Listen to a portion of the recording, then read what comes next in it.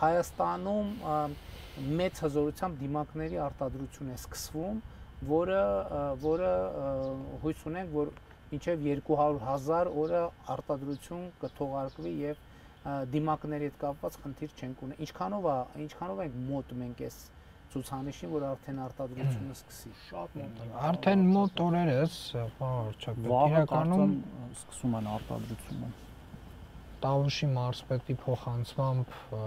նույնիսկ այսօր արդեն գործընթացը պետքա սկսած լիներ, բայց կարծում եմ բացի նաև տեղական արտադրությունից որոշ չափով, որոշ մեծ չափով դիմակներ ներկրվել են տարբեր տնտեսվարողների կողմից։ Այս փուլում համենայն դեպս դիմակների պակասի մասին չենք խոսում եւ իրականում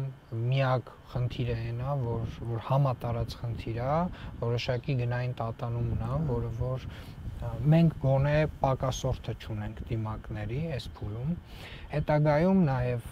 այլ տեսակների, այլ գործունեության տեսակների բացման հետ զուգահեռ, օրինակ մոլերում կամ նմանատիպ էլի այլ վայրերում, խոշոր փակ շուկաներում մենք պարտադիր դիմակի եւ ձեռնոցի կրումը պետքա պարտադրենք այդ վայրերում եւ հետեւապես նաեւ շատ կարեւոր է որպեսի դիմակների եւ ձեռնոցների քանակը կարողանանք ապահովել, որը որ այս փուլում համոզված ենք որ կարողանանք